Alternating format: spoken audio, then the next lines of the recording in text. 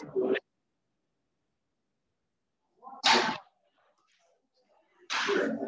good morning. Good morning. So today we are going to switch over to a new programming language. Up to this point, for the first eight weeks, we did C. So C++ is going to be what we are going to be studying the rest of the semester. And the reason why we want to pick it up here is because the idea behind C++ is building upon what is known as object-oriented programming. Now you had your first kind of brush with objects last week when we were starting to dig into structs. So uh, a struct has different private members. Well, I'm sorry, you see it's public members, but these members could be defined together and put onto the data heap. And so now it became, well, if we can combine things together, are there ways that we can uh, define how they all work together in a more concise way? And how can we make them all work together in a way that aids our computational thinking? So the first thing I want to do before we even dig in to what C++ is and the differences between C++ and C, I want to emphasize something. The difference between C and C++ is an inherently philosophical difference. And because of this, some of you are going to look at C and C++ in very different ways. So Bjarne Stroustrup, I have a picture of him here, uh, invents uh, C++ in 1979. At the time, he calls it C with classes. And he wasn't inspired by trying to make the program work better. He was inspired by the uh, philosophy of Soren Kierkegaard. And he, more importantly, why he thought his philosophy was not good. And he has this exact quote here I find Kierkegaard's almost fanatical concern for the individual and keen psychological insights much more appealing than the grandiose schemes and concern for humanity in the abstract of Hegel and Marx. And so what he's hitting on here is this idea of trying to force people into, quote, doing what is good for them. He says this is the cause of so much suffering in the world. And some of you go, yeah, Dr. Morrison made me suffer a lot in the first few assignments of the semester. I totally agree with what uh, uh, Bjarne is talking about here. But what he's talk, what he is specifically talking about is this idea that forcing programming as a purely procedural idea is ideologically limited. And so he creates C++ as a way to build upon C in a way that allows them to be able to implement ideas by developing these classes and objects. And he says many C++ design decisions have their roots in my dislike for forcing people to do things in some particular way. Where ideals clash, and sometimes even pundits seem to agree, I prefer to provide support that gives the programmers a choice. So he sees C as ideologically limited. And then he tries to build upon this. It's an improvement upon C, C plus one, hence C plus plus. And he says it enables programmers to write real world programs that are simultaneously elegant, efficient, raise this idea of levels of abstraction. So we saw this a little bit when we started working in structs, right? So when we had a, you're, in the uh, lab that you were working on this weekend, you were reading in a, an array of structures that contain a first name, a last name, and a double for a midterm and a final exam, right? So when we were using structures and you're using that specific format, you no longer had to allocate the memory and do all the pointers. And when you read it to fscanf, you were uh, you passed a string to fscanf. It's passing it by reference by default. So a lot of this memory allocation that you have to do is starting to be abstracted away from you. It's getting a little less complex, or we're starting to get that Margaret Hamilton's book down a little bit. And so he even says his goal was to improve the working lives of hundreds of thousands of serious programmers. In 1985, the idea of hundreds of thousands of programmers as opposed to the millions that we have on Earth today uh, was much more realistic. So he's trying to aim to make this world a better place for everybody who was programming back then. So what is the idea of object-oriented programming? And what the four main concepts that I'm really going to hammer home for the rest of the semester are encapsulation, abstraction, inheritance, and polymorphism. I'm going to define all of these in today's lecture. But first, in order to understand all these, we have to kind of think about what the world is like, not what the program is like. So the world is full of objects. Know, for example, I'm holding disinfectant, right? And if I were to unscrew this disinfectant and spill it all over, right? There are several things that would happen when I would do this. I have to account for gravity, I have to account for how fast things go. I have to account for what's in the bottle. And then I have to account for what will happen when the disinfectant hits the desk. So there are certain things that can splash. If this wasn't disinfectant, this is some sort of other chemical material that were to actually spill in here, I could potentially create some burns. It could potentially create some bad odors. We'd all have to uh, evacuate the room. There's all kinds of different things that could happen based on what are the contents of this bottle. So it's not just, okay, right function, turnover bottle, right function, splash. You can't, not possible to account for every possible thing. With C++, the objective is to be able to make objects work together such that when we have an unintended interaction, we can predict it as best as possible through the operations. So on this slide, what I have is an example of a glass of water, a desk, and some pencils. If I spill the water on the computer, it could potentially damage the computer. But it's not, we don't have a function when glass tipped over break, uh, break computer, right? What we have in this object are, if I tip the glass over, what's gonna happen? If I have water hit the computer, what's gonna happen? And when those two things combine, they should work seamlessly. With the goal here of making the program work properly when it's used in unanticipated ways. And we're going to hit on this idea of message passing. Message passing is us passing information back and forth between objects and classes. Okay, so just everybody have a general understanding of what I'm trying to get at for the moment? All right. So how are we going to break these classes down and how do we think about these ideas? So first, when we have, so what we've learned about in the structure is this idea of properties or members. They are you things you can use to define a specific object. For example, I have this water bottle. It has several different properties. It has color, it has weight, it has a, a volume it can contain, right? It has a name on it. Electronics cleaner and disinfectant, ZET, right? All of these things. They get have a warning label for external use of flammable. Okay, let's not set it on fire. Um, there's all kinds of things that I can add as members or properties of that object. But the new thing that we are going to discuss here is this idea of methods. Methods are going to be functions within a class that are acted upon when we call a class object. So for example, when we had that structure, right? When you had to calculate it, you had to access, calculate the final average you had to access the two members, bring them out in another function, and perform the result, right? What if we could write a function, calculate final, that is a method of that student, and that all you have to do for the programmer is say, what's their final average?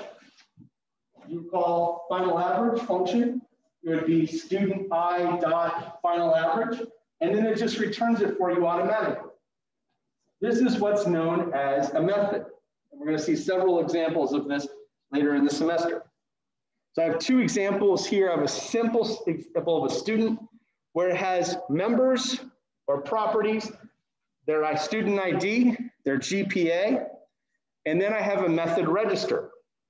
So I want to register for classes. It's a function that would dictate to the student how to read in information. And then based on that student's information, we can determine whether or not that student should be allowed to register for specific classes. And putting these all together inside of a class, whether it's the operations that can be done on the data and the data that's used to define the object, putting them all together in a class is known as encapsulation. So we're just encapsulating everything kind of in its own bubble, right? So grouping methods and properties together is known as encapsulation.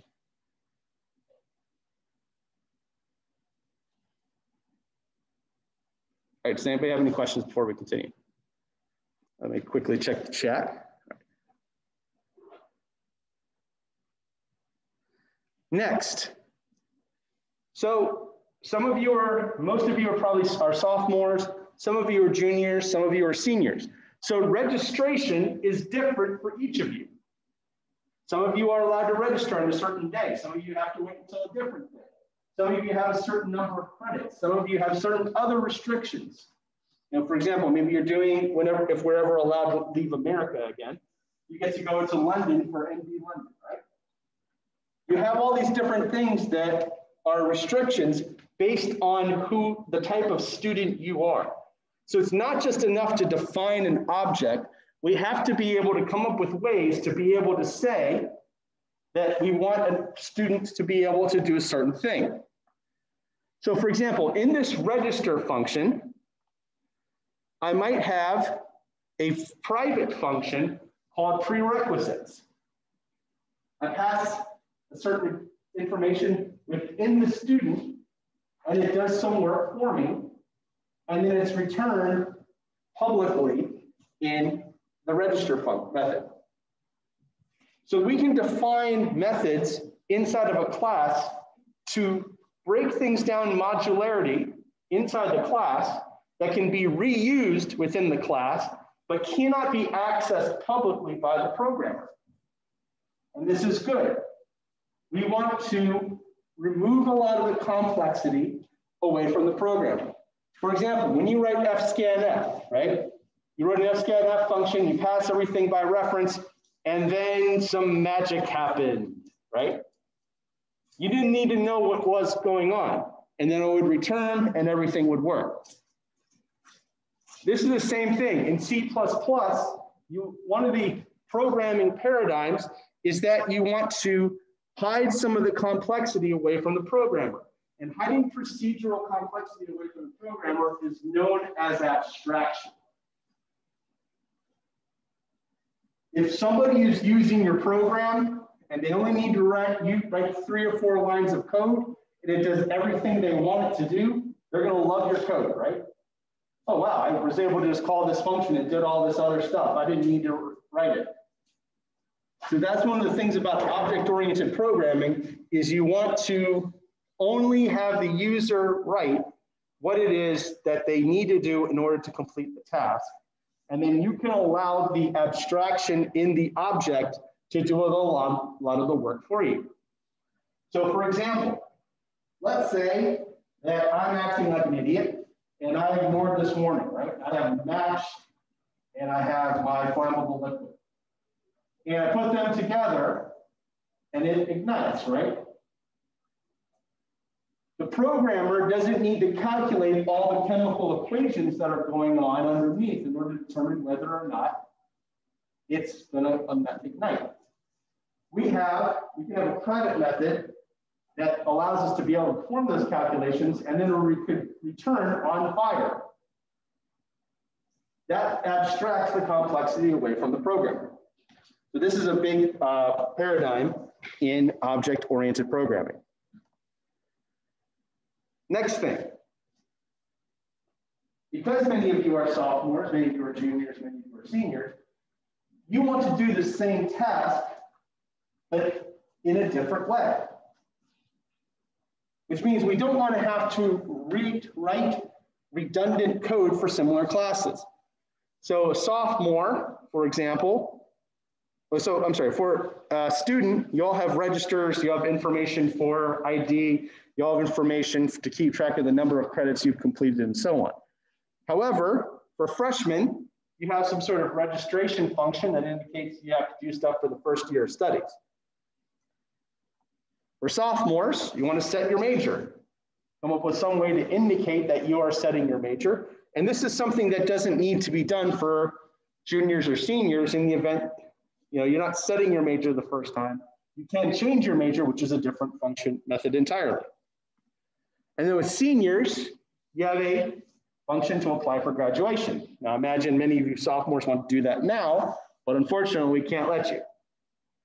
So these classes and methods, we can define them to be unique to each object type.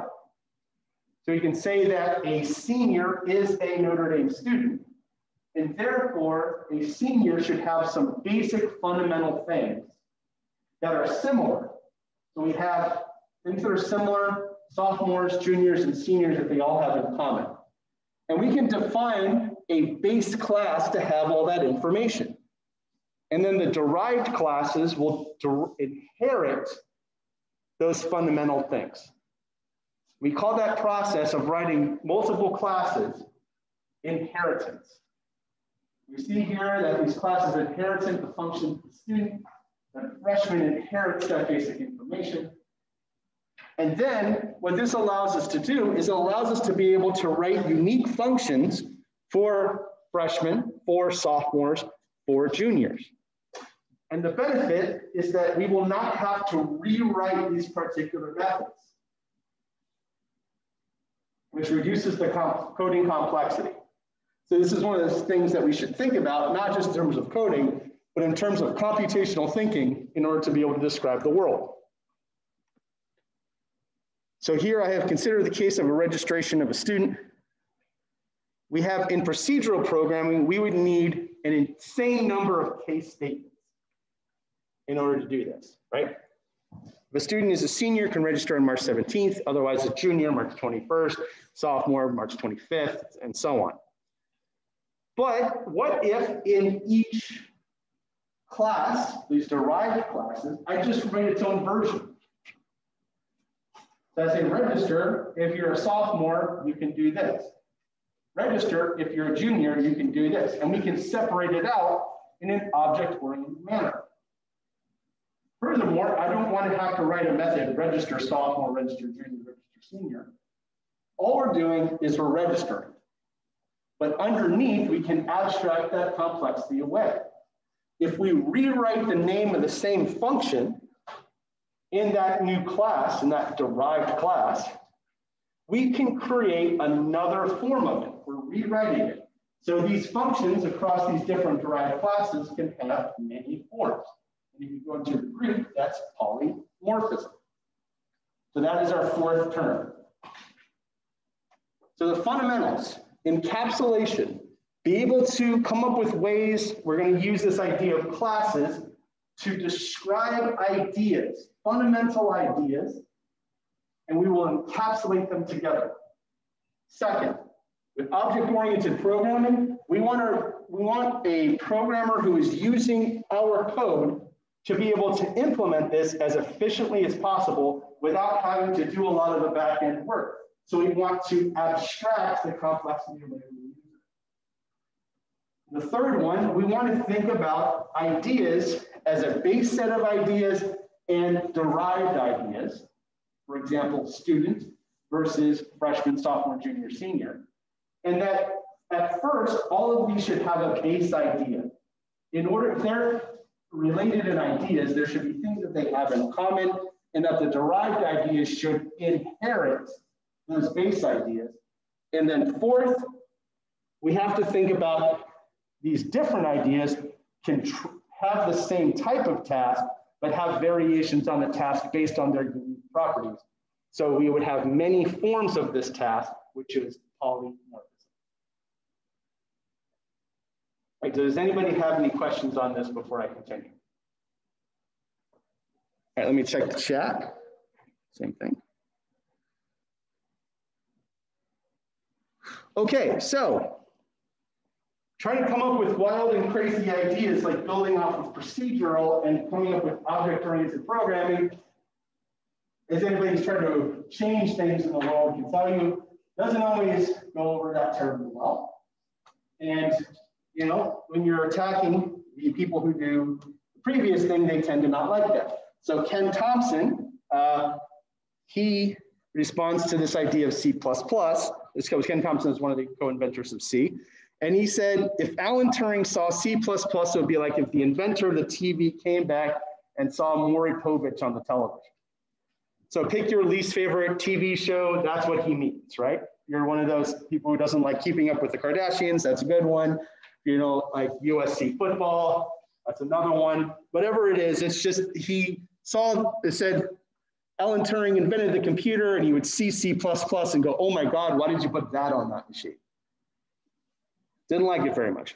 Linus Torvalds, the inventor of Linux, which we program on to on our uh, um, when we use the Notre Dame machines. He just straight straight up C++ is a horrible language. It is made more horrible by the fact that a lot of substandard programmers use it. So then Bjarne, he responds and says, C++ is designed to allow you to express ideas, but if you don't have any ideas or have any clue how to express them, then C++ doesn't offer much help. So it's a lot of shade going on here. The difference between C and C++ is not just programming, it's philosophical. It's kind of the same way if you look at different uh, actual languages, you know, you're trying to convey an idea in French versus trying to convey it in German, it can come off in very different ways, right? So C and C++ can be very similar. And so why do I tell you all this? So it's important to do some expectation setting as we transfer from C to C++. For some of you who really enjoyed programming in C, and like, it does in a very specific way, and I like being told to do things in a very specific way, transferring to C++ can be kind of frustrating because it's a different kind of thinking. Likewise, some of you might, oh, C++, I feel it's very limiting. I do this thing, it does the result, but when I, when I do really cool stuff, and you will enjoy C++ because C++ kind of goes into that type of thinking. And both of those reactions are okay. It's perfectly fine. So the question is, why teach both? The reason why is empowerment of choice. At some point, when you make a decision about what programming languages you're going to use, you want to keep track of several things. The amount of memory it's using, the efficiency of the programming language, and if it's trying to do what it is you need to do. So a lot of pro certain programming languages that have really extensive libraries, for example, Python is a good example. Java is another really good example. Those extensive libraries come with uh, design costs. If you've ever run Java on the Java virtual machine, sometimes you can run really slowly because there's a lot of overhead in order to abstract that complexity away with C and C++, they're both much closer to the actual machine. So in C, we went to a lot of detail about pointers and how it works to be able to implement things on a certain device. And this is the idea of procedural programming. So now that you understand how the machine works, now you understand what's going on underneath the hood, which is going to make what your understanding of the object-oriented programming uh, significantly better because students who just try to implement the object-oriented programming without that understanding of how the pointers work and how everything's going on in computer architecture, it can, they can really struggle with that. I'll share another Bjarne Stroustrup quote with you. He said, the thing about uh, C, if you're bad at programming in C, you'll die a thousand cuts. But if you're uh, bad at programming in C++, you could potentially blow your leg off. So there's all kinds of ways where C++ and object-oriented programming can go very wrongly for you. However, if you understand what's going on procedurally, then you're less likely to run into that challenge. The other crucial thing is robustness. Can we make our program work with as many possible things as possible? So if I'll create an array and a data structure that we're going to learn about in this uh, semester, where we have a what's known as a standard template library. C++ has what's known as a dynamic array, which is also known as a vector, which can change the amount of memory that you have allocated to an array as you start adding in more information.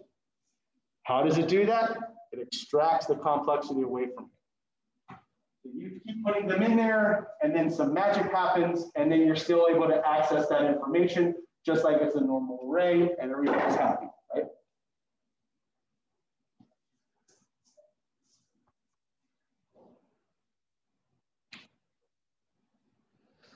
So ultimately, computing is a philosophy and programming is an implementation of that philosophy. As you're starting to work on more and more of these assignments and you're starting to you know, gain familiarity with different programming languages, maybe you code in embedded systems, maybe you're familiar with Python, maybe you're familiar with Java, you're eventually going to develop your own philosophy of programming.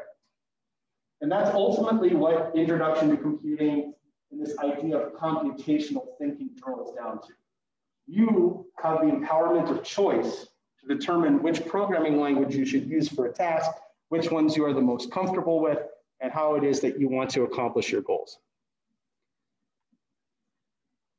Skip over that.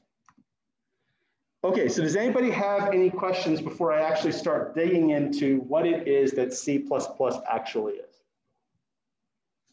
Okay, let me check the chat as well. Okay, so, oh.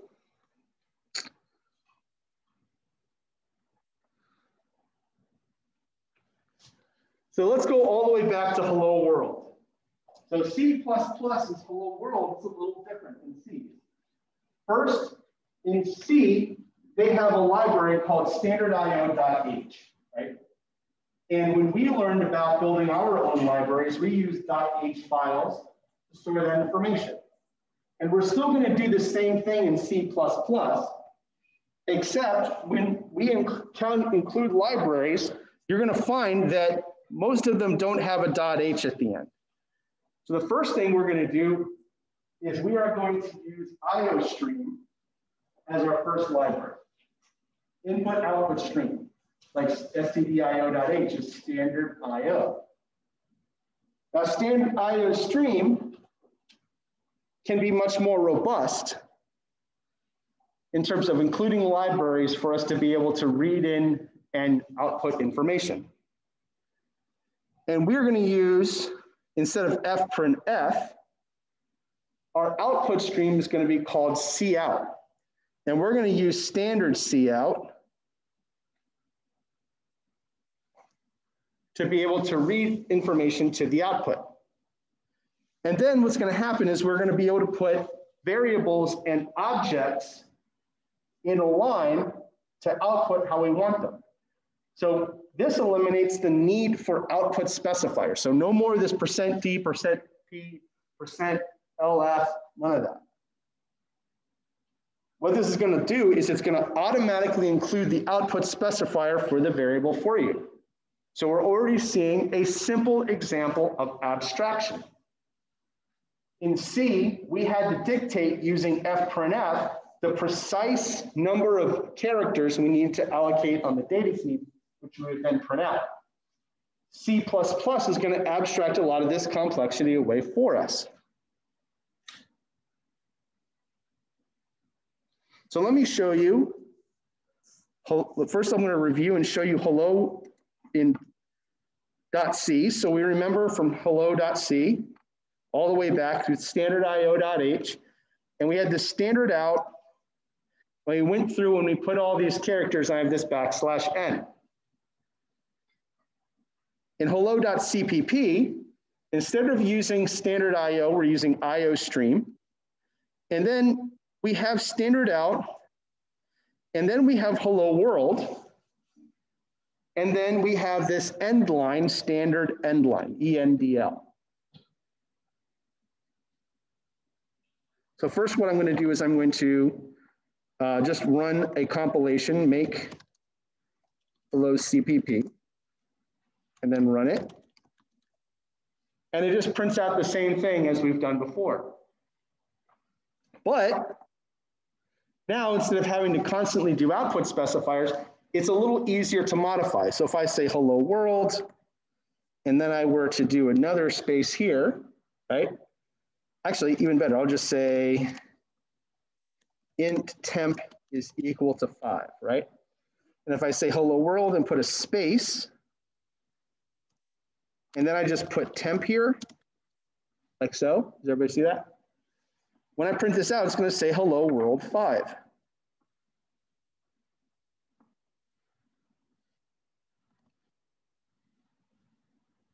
So it has abstracted its output specifiers away from us. We have been able to put two different objects of which the IO stream has interpreted as a string and an int for us. Does everybody see that? Yes. Yes. So the follow-up question is, does so C++ plus is a superset of C. So I could actually do this. I could actually do fprintf standard out, hello again. And let's see what happens. Let's see. We do not. The reason why is because the IO stream is a superset of the library of standard IO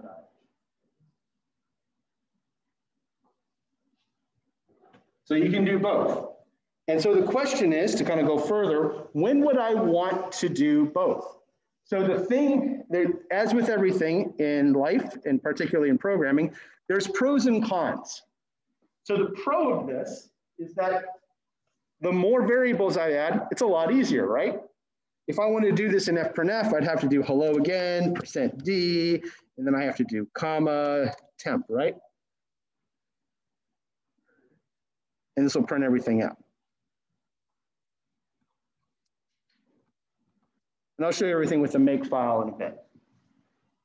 However, let's say I wanted to have a very specific uh, four, and let's say this is 15, right?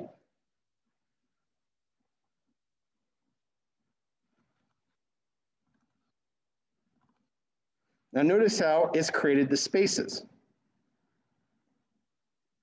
So in C, we can make this much more accurate. You can do, there are libraries that will allow you to do this in C++, but they're pretty complex. It's called standard, uh, so you can do set precision, but then you have to change it for every single object that you put in.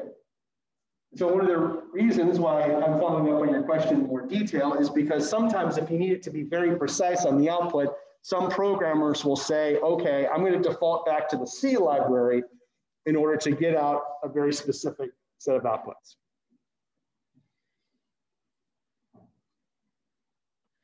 So let me undo all these changes.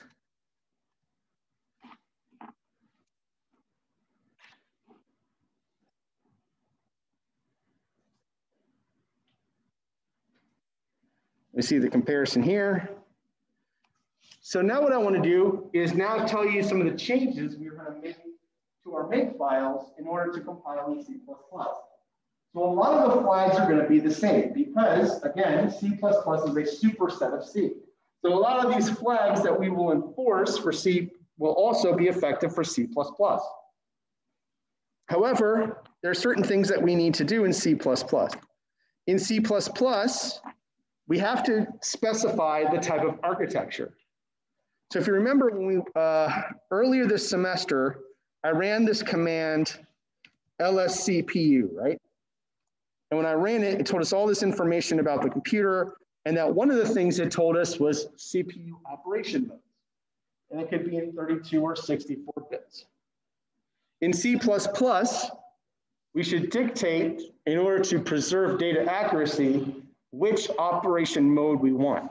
So in this case, you will see that I have M-M64. The next thing is instead of standard C 2011, I'm going to the C++ standard 2011 flag. And then the third one is this effective C++. Now, for those of you at the beginning of the semester here asking me, what are some good books that you wanted to, uh, that you should get that are optional but would be very helpful for you in the future? There is a book by Scott Meyers called Effective C++, which has 55 really good rules to follow in order to write really strong code. And this was so well regarded that the um, ISO, the International Standard Organization, actually created another C, compile, C++ compiler flag that enforced all of these rules. Now, most of these are going to be in advanced classes. And we will encounter only a couple of them. But I'll get your question in a second. But they are essential to be to have really good programming. So this, uh, and when we get to these particular reasons why we want to have this particular flag, I will discuss them in detail. Yes. All right, so advanced class means, well, first of all, anything that I would teach in data structures. So for example, um, if I were building a, I'll just say what I'm gonna do in class today. If we are building a red black tree, and that is an advanced type of binary search tree that does what we did in merge sort, and it stores all the information. So to have a good red-black tree, I have to do something we're going to learn about in this course called template. When you template and you store dynamic memory, which is reallocation of memory, you then have to meet what is known as the rule of three.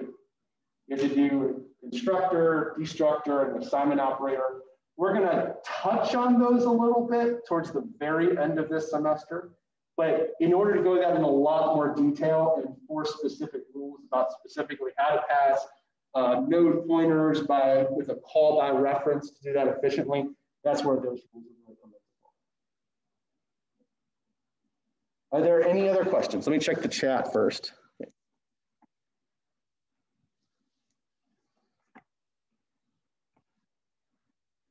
Okay, so let me take you into the make file to show you how I'm compiling both of these files simultaneously. So I have the make file here. And now we're going into our compiler directives.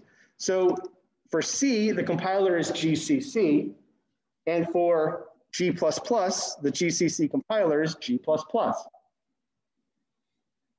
So for the flags, all of these flags that I currently have highlighted are the same. They will work the exact same in C and in C++. For the C flags, I have standard 2011 and then that flags afterwards. And then in C++, which I call CXX here, I have the architecture flag, 2011 C++ standard, and the effective C++ flag.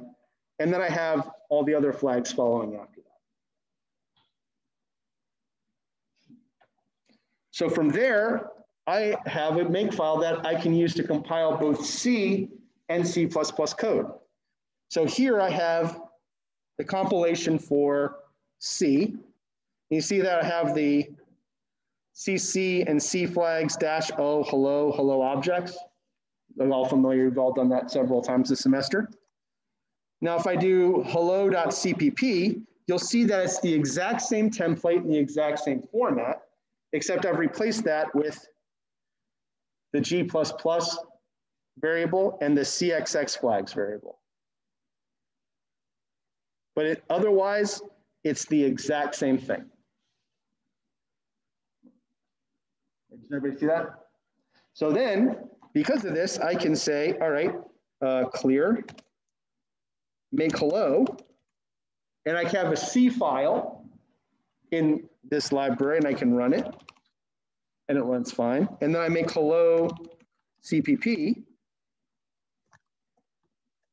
and I can run a C++ file in the exact same way using the exact same make file. And so if you have different for different, so there's a lot of times when you might want to mix languages based on having a specific language do a specific aspect of the program. And you can build make files to compile everything and put them all together in a way that works for you.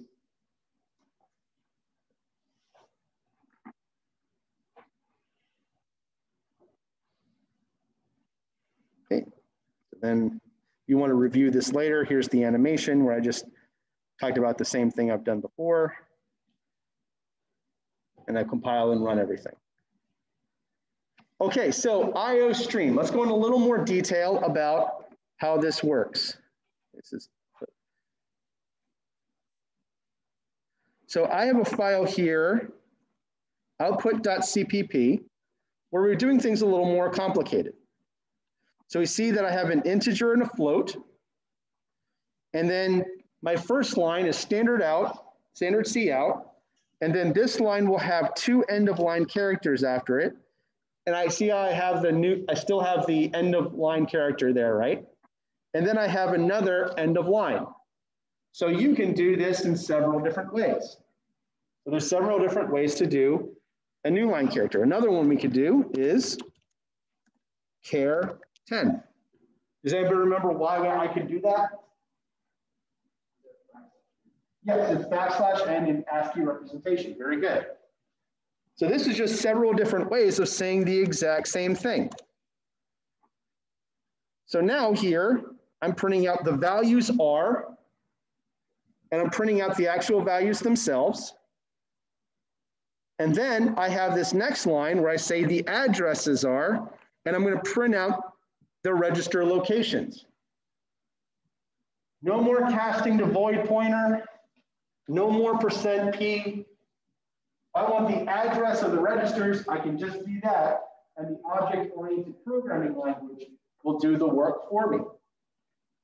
That's a little bit of abstraction. So if I run make output, there we go, that looks better.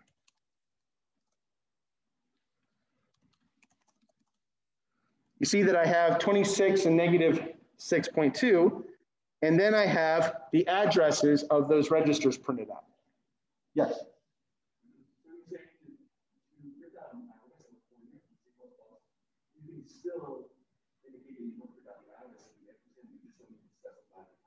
Yes. You should also specify, like, I want to, I want to print out what is dereferenced by this school. Correct. You should need specify. Absolutely. Yeah, so we, because so now we can take away that void pointer specification. So it's a little less complicated to code. Object-oriented programming does the work for us. Hey, does anybody have any other questions?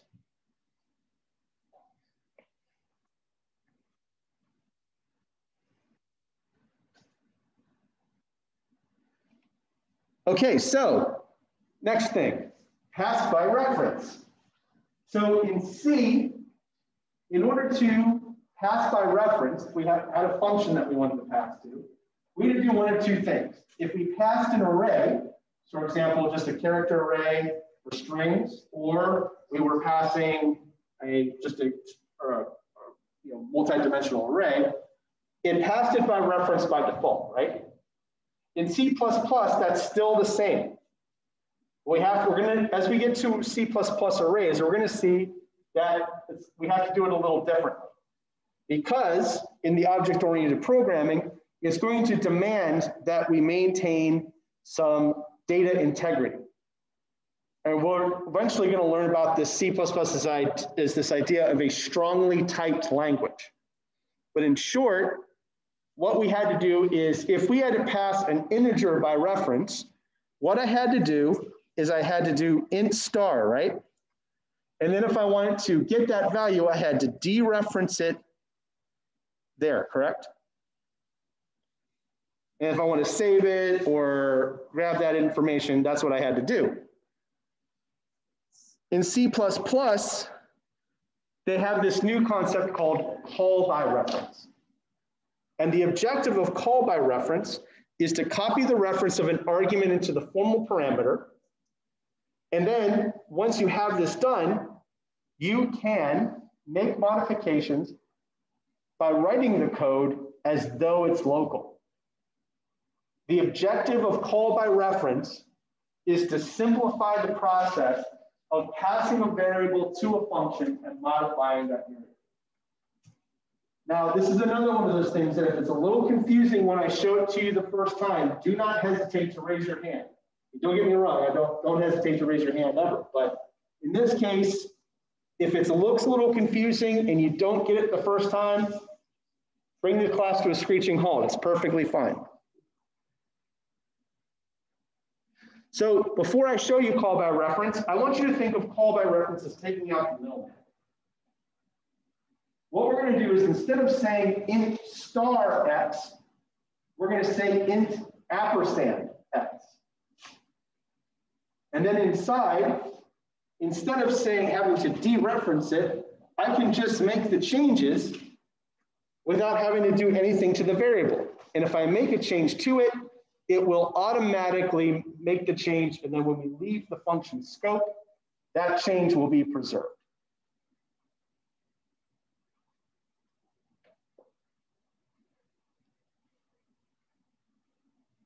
And the benefit, as we'll see in a moment, is that using the variable name in the function gives the variable, not the address. So remember, if I, with pass by reference, if I had int star x, and if I did printf, it would give me the address of the variable. So let me show you an example of what I'm talking about. So first, let me bring up, okay, so it's called pointer.cpp. Now first, let me go to main. And in main, I create two variables, temp x and temp y. And when we did pass by reference in C, I had to create pointers, pointer x and pointer y, right? And to pass by reference, I had to do those pointers.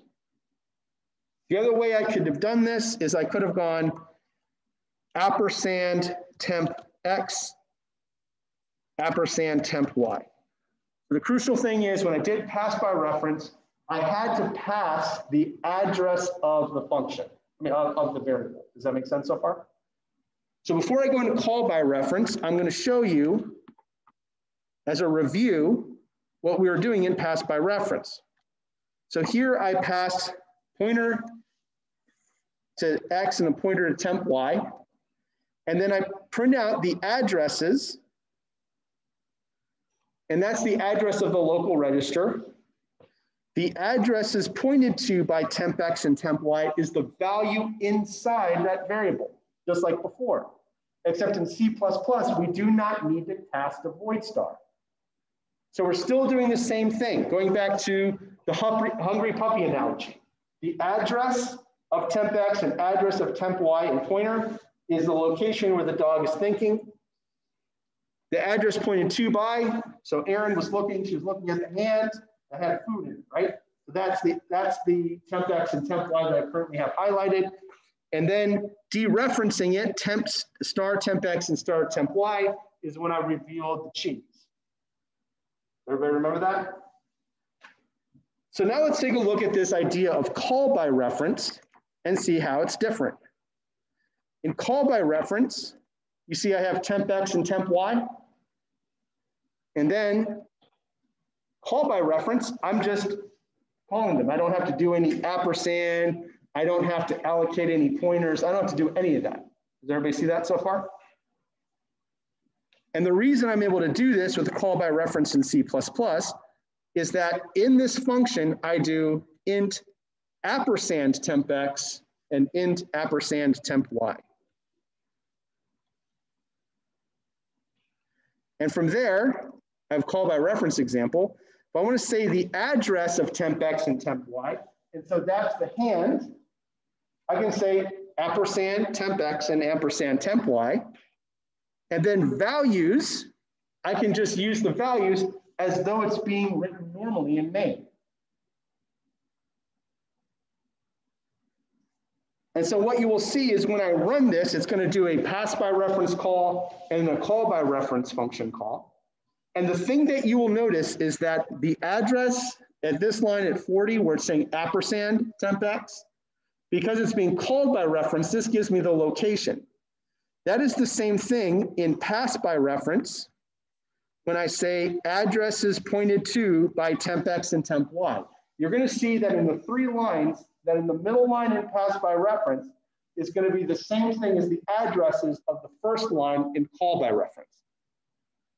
So let me run the compilation.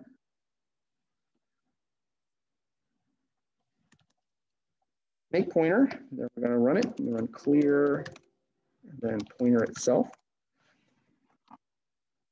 And so to conclude lecture, here's the difference between the procedural pass by reference, where I have to pass these addresses of the registers, right? And then to get the information, I have to go inside the registers and get them from this location. And then these are the dereferenced values. And that's temp X and temp Y in pass by uh, reference. And when I call by reference, when I do that ampersand, you'll see that these addresses are the same, which means when I do ampersand temp X and ampersand temp Y, when I call by reference, this means I am getting the address where the variables are located, which means that I've cut out the middleman. And then when I just say temp X and temp Y, I just get the values themselves. So the objective of call by reference is to treat variables that are passed by reference as objects in order to abstract coding complexity from the program. Does everybody see that? Okay, so this is where we'll conclude for today, and then we're going to pick up on more C++ on Wednesday.